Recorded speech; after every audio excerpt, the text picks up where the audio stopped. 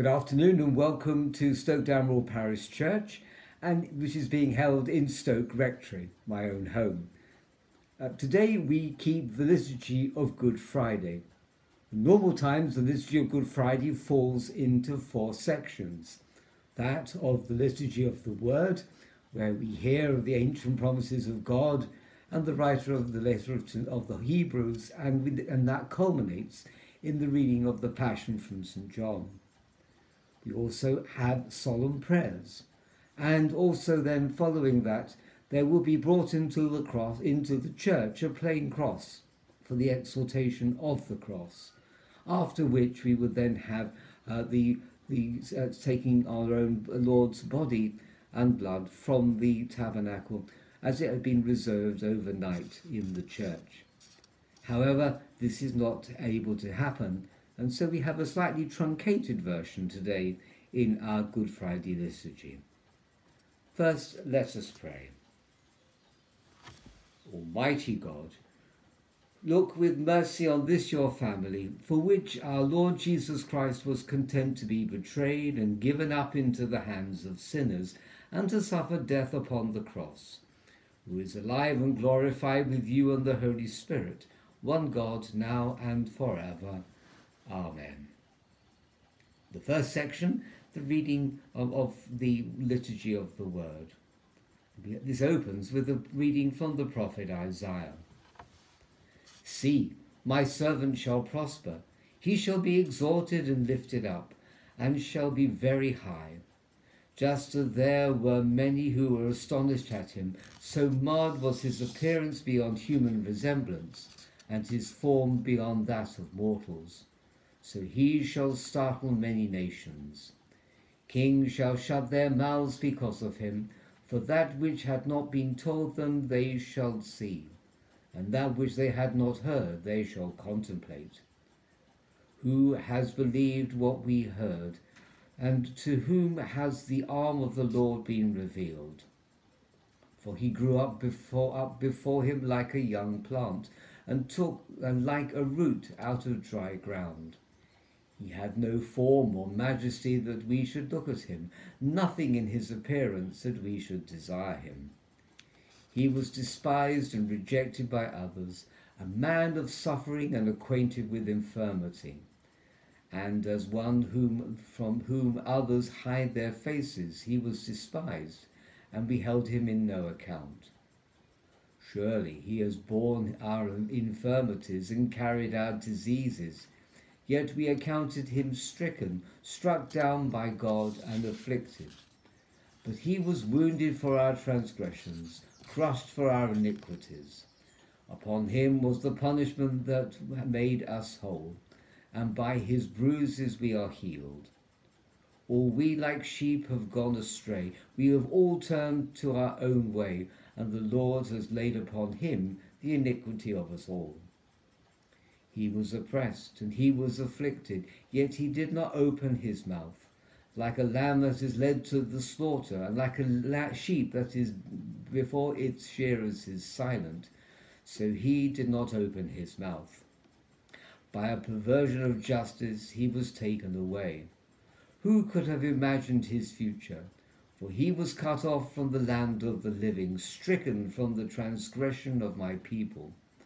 They made his grave with the wicked and his tomb with the rich, although he had done no violence, and there was no deceit in his mouth. Yet it was the will of the Lord to crush him with pain. When you make his life an offering for sin, he shall see his offspring and shall prolong his days. Through him the will of the Lord shall prosper. Out of his anguish he shall see light he shall find satisfaction through his knowledge. The righteous one, my servant, shall make many righteous, and he shall bear their iniquities.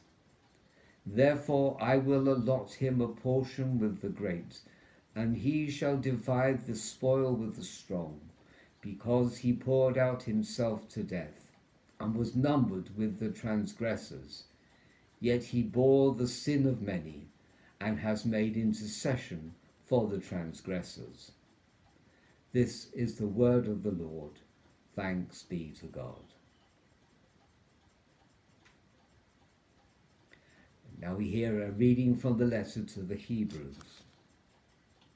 This is the covenant that I will make with them after those days, says the Lord. I will put my laws in their hearts, and I will write them on their minds. He also adds, I will remember their sin and their lawless deeds no more.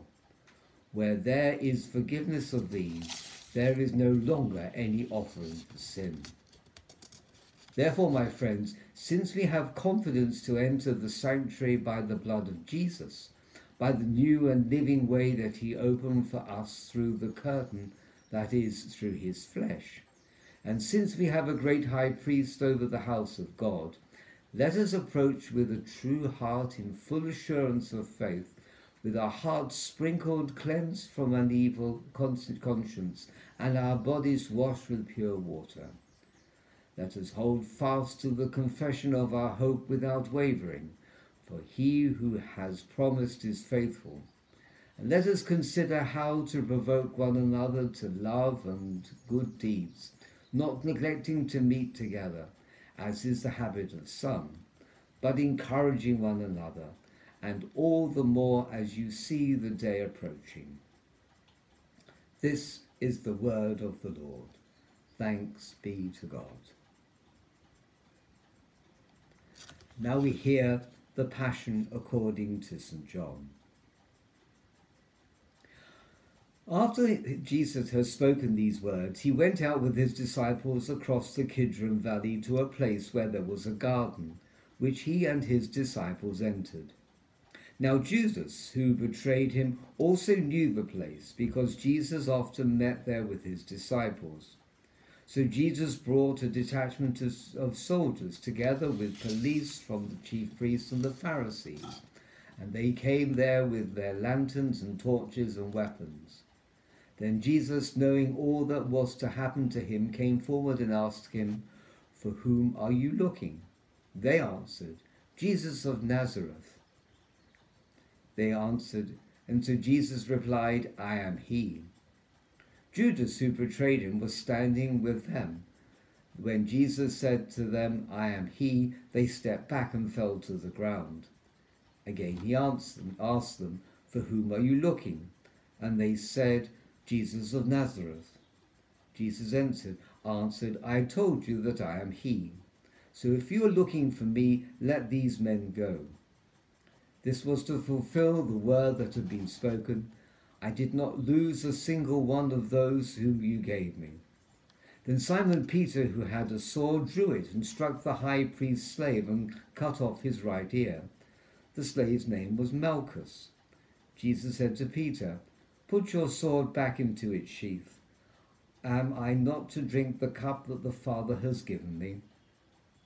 So the soldiers, their officer, and the Jewish police arrested Jesus and bound him. First they took him to Annas, who was the father-in-law of Caiaphas, the high priest that year. Caiaphas was the one who advised the Jews that it was better to have one person die for the people. Simon Peter and another disciple followed Jesus. Since that disciple was known to the high priest, he went in with Jesus into the courtyard of the high priest. But Peter was standing outside the gate. So the other disciple, who was known to the high priest, went out and spoke to the woman who guarded the gate and brought Peter in.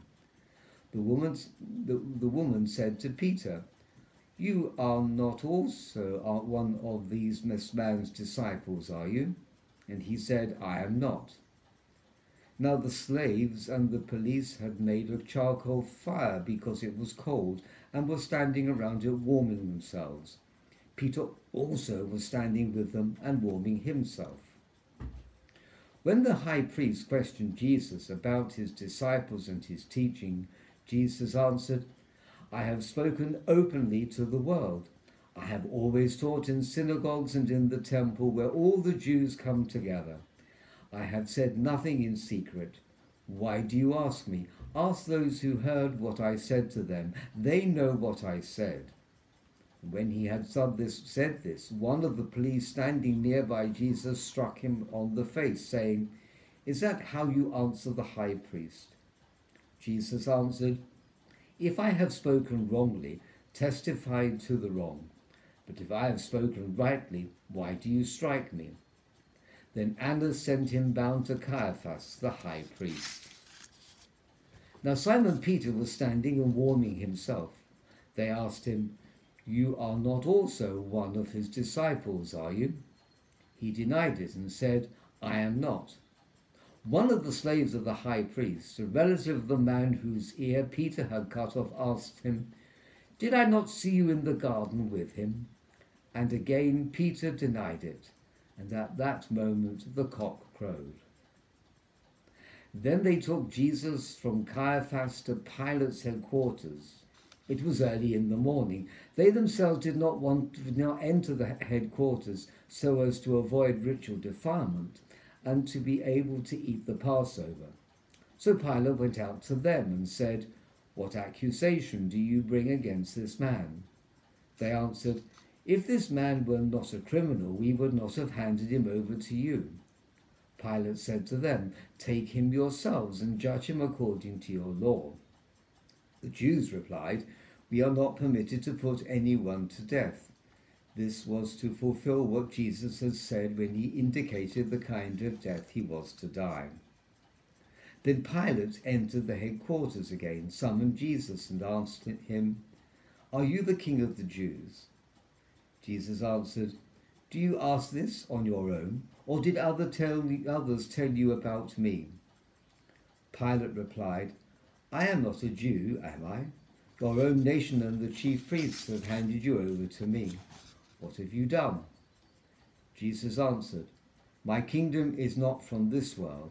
If my kingdom were from this world, my followers would be fighting to keep me from being handed over to the Jews.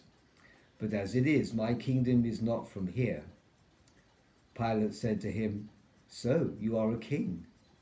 Jesus answered, You say that I am a king. For this I was born, and for this I came into the world to testify to the truth. Everyone who belongs to the truth listen to my voice.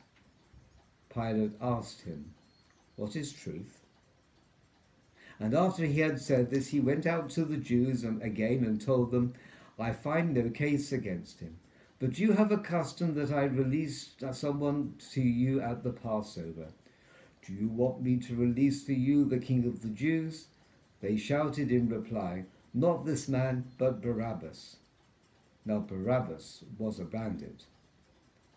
When Pilate took Jesus and had him flogged, and the soldiers wove a crown of thorns and put it on his head, and they dressed him in a purple robe, they kept coming up to him and saying, Hail, King of the Jews, and striking him on the face. Pilate went out again and said to them, Look, I am bringing him out to, to, you to let you know that I find no case against him. So Jesus came out, wearing the crown of thorns and the purple robe. Jesus said to them, Here is the man. When the chief priests and the police saw him, they shouted, Crucify him, crucify him. Pilate said to them, Take them him yourselves and crucify him. I find no case against him. The Jews answered him, We have a law, and according to that law he ought to die because he has claimed to be the Son of God. Now when Pilate heard this, he was more afraid than ever. He entered his headquarters again and asked Jesus, Where are you from? But Jesus gave him no answer. Pilate therefore said to him, Do you refuse to speak to me? Do you not know that I have power to release you and the power to crucify you? Jesus answered him, You would have no power over me unless it had been given to you from above. Therefore the one who has handed me over to you is greater of the is guilty of the greater sin. From then on Pilate tried to release him, but the Jews cried out, If you release this man, you are no friend of the emperor. Everyone who claims to be a king sets himself against the emperor. When Pilate heard these words, he brought Jesus outside and sat on the judge's bench at the place of, of the stone that called the stone pavement, or in Hebrew, Gabbatha. Now it was the day of preparation for the Passover, and it was about noon. He said to the Jews, Here is your king. They cried out, Away with him, away with him, crucify him. Pilate asked them, Shall I crucify your king? The chief priests answered, We have no king but the emperor. Then he handed him over to be crucified. So they took Jesus, and carrying the cross by himself, he went out to the, what is called the place of the skull, which is in Hebrew called Golgotha.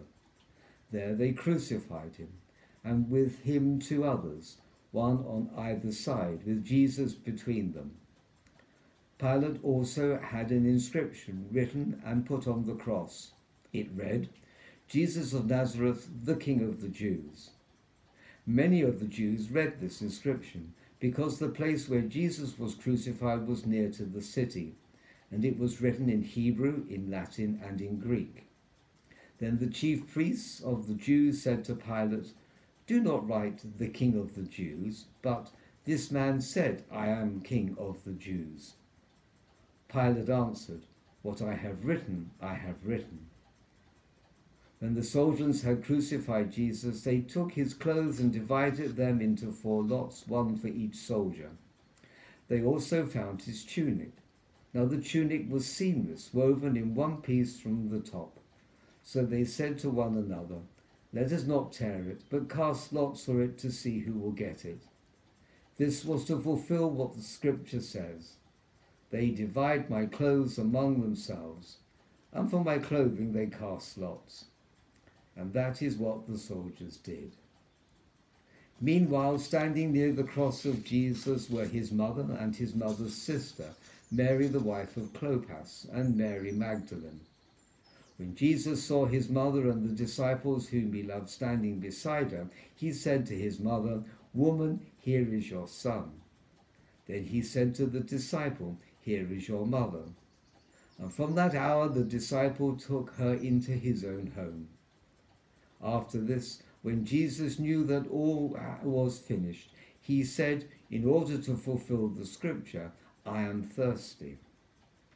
So they put a sponge filled of, full of the wine on a branch of hyssop and held it to his mouth.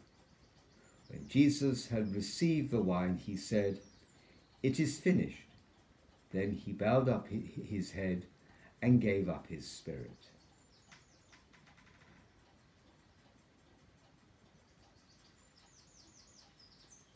Since it was the day of preparation, the Jews did not want the bodies left on the cross during the Sabbath, especially because that Sabbath was a day of great solemnity.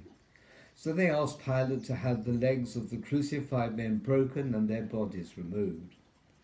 Then the soldiers came and broke the legs of the first and of the other who had been crucified with him. But when they came to Jesus and saw that he was already dead, they did not break his legs. Instead, one of the soldiers pierced his side with a spear, and at once blood and water came out. He who saw this has testified so that you may believe. His testimony is true, and he knows what he tells the truth. These things occurred so that the scripture might be fulfilled. None of his bones shall be broken. And again, another passage of scripture says, they will look on the one whom they have pierced. After these things, Joseph of Arimathea, who was a disciple of Jesus, though a secret one because of his fear of the Jews, asked Pilate to let him take the body of Jesus. Pilate gave him permission, so he came and removed his body. Nicodemus, who had at first come to Jesus by night, also came, bringing a mixture of myrrh and aloes weighing about a hundred pounds. They took the body of Jesus and wrapped it with the spices in linen cloths according to the burial custom of the Jews. Now there was a garden in the place where he had been crucified, and in the garden there was a new tomb in which no one had ever been laid. And so, because it was the Jewish day of Passover, and the tomb was nearby, they laid Jesus there. This is the passion of the Lord.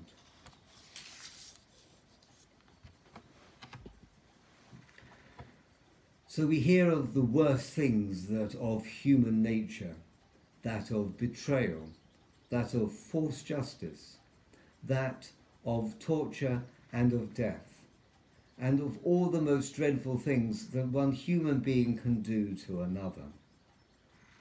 And yet Jesus allows himself to be taken to fulfill the scriptures, to be taken to be crucified and to die and to be laid into the tomb.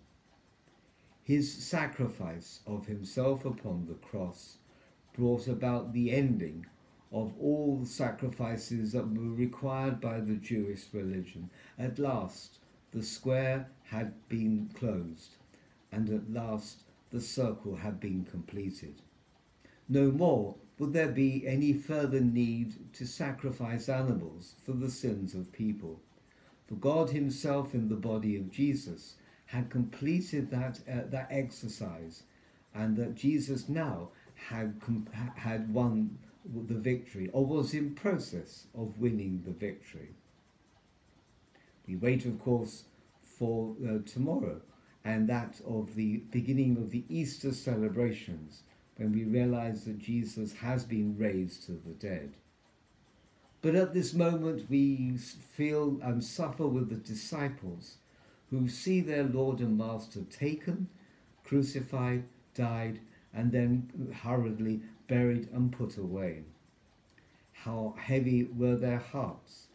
Such anticipation of great things had now been dashed. All that was going to be good was now evil. We live with the coronavirus, this COVID 19, and that we realize that we are in exceptional circumstances. Today, many people are risking their own lives to bring health and healing to those who are very sick. Yesterday, in on Maundy Thursday, we saw Jesus wash the feet of his disciples as a sign of service. Today, we see his example of sacrifice, the ultimate paying the price of one for another to lay down their life. Sadly, we know many of the health professions, whether doctors, nurses, or care assistants, have caught this disease through caring for others, and they themselves have, have died subject to that disease. And so we take hope that there are still today people who wish to go and make this world a better place through service and eventually, if required, through sacrifice.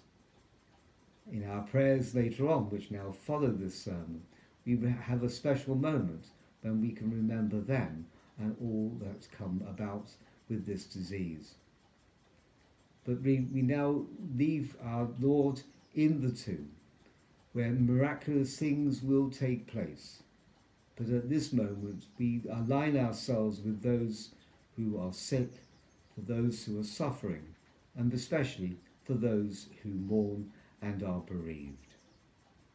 In the name of the Father, and of the Son, and of the Holy Spirit. Amen. We come now to our solemn prayers. And in our solemn prayers of intercession, they fall into three short sections. There is the introduction, there is a prayer, and then there is a collect. God sent his Son into the world not to condemn the world, but that the world might be saved through him. Therefore, we pray to our Heavenly Father for people everywhere according to their needs. Let us pray for the Church of God throughout the world, for unity in faith, in witness, and in service, for bishops and other ministers, and for those whom they serve, for Robert, our bishop, and the people of this diocese, for all Christians in our parish, and for those to be baptized, for those who are mocked and persecuted for their faith, that God will confirm his church in faith, increase its love, and preserve it in peace. Lord, hear us. Lord, graciously hear us. Almighty God, whose mighty and everlasting God, by whose Spirit the whole body of the Church is governed and sanctified, Hear our prayer for which we offer for all your faithful people, that in their vocation and ministry they may serve you in holiness and truth to the glory of your name. Through our Lord and Saviour Jesus Christ. Amen. Let us pray for the nations of the world and their leaders, for Elizabeth our Queen, and for the parliaments of this land and those who administer the law, and all who serve in public office, for all who strive for justice and reconciliation, that by God's help the world may live in peace and freedom.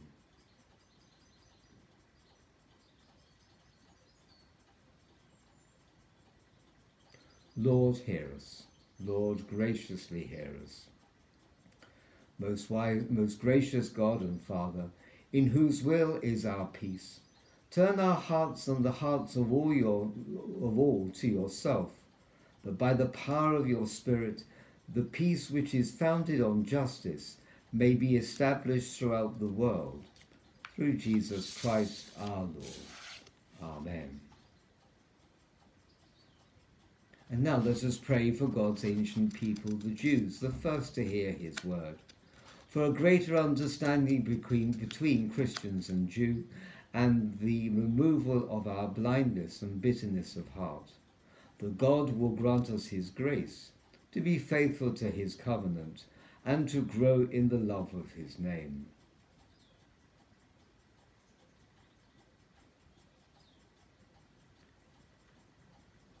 Lord, hear us. Lord, graciously hear us. Lord God of Abraham, bless the children of your covenant, both Jew and Christian. Take from us all blindness and bitterness of heart, and fast and hasten the coming of your kingdom, when the Gentiles shall be gathered in, all Israel shall be saved, and we shall dwell together in mutual love and peace under the one God and Father of our Lord Jesus Christ. Amen. Let us pray for those who do not believe in the gospel of Christ, for those who have not heard the message of salvation, for all who have lost their faith, for the contemptuous and the scornful, for those who are enemies of Christ and persecute those who follow him for all who deny the faith of Christ crucified, that God will open their hearts to the truth and lead them to faith and obedience.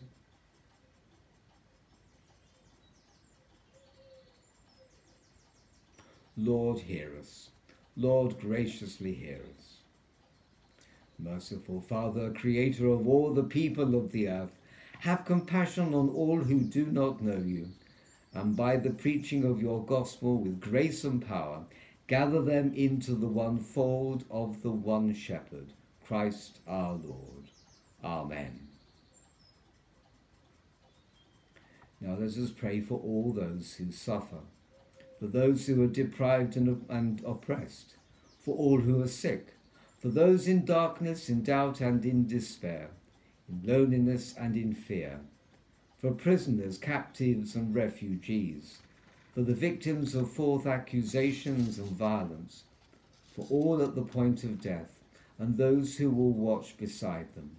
The God in his mercy will sustain them with the knowledge of his love.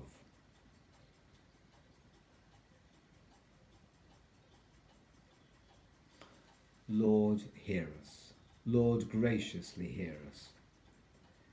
Almighty and everlasting God, the comfort of the sad, the strength of those who suffer, hear the prayers of your children who cry out in any trouble, and to every distressed soul grant mercy, relief, and refreshment. Through Jesus Christ our Lord. Amen.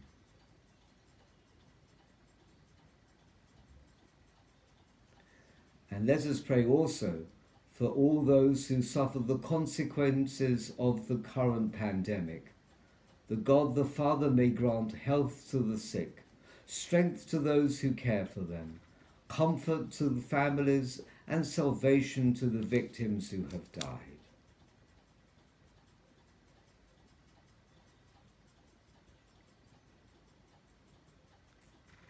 Lord, hear us. Lord, graciously hear us. Almighty and ever living God, only support of our human weakness, look with compassion upon the sorrowful condition of your children who suffer because of this pandemic.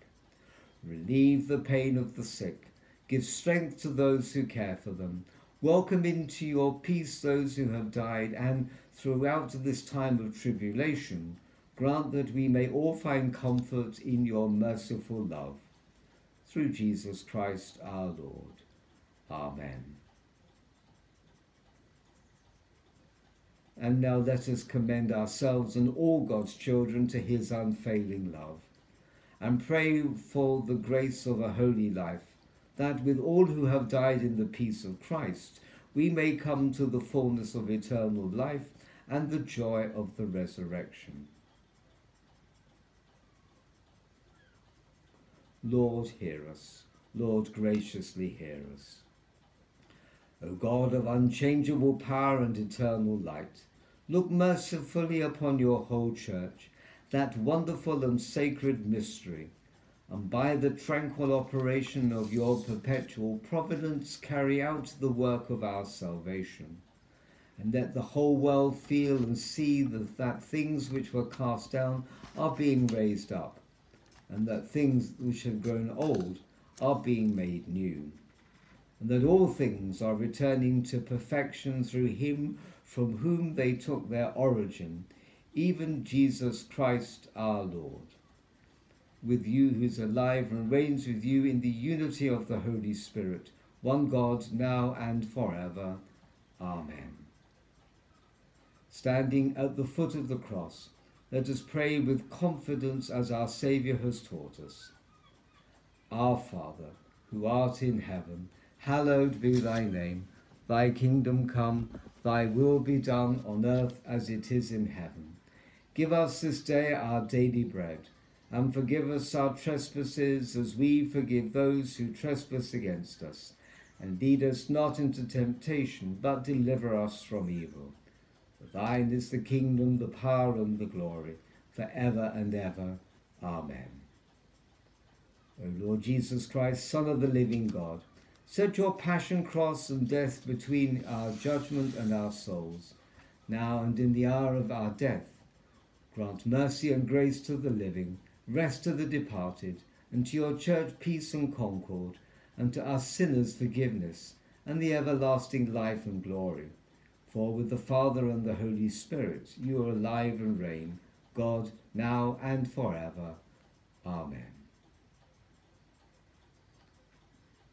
Were we now in the church, we would uh, uh, now leave the place in silence, as the church would be a tomb. And yet we know that God is working his salvation through, and that tomorrow, on the Holy Saturday, we can celebrate our Lord's resurrection. Peace be with you. Amen.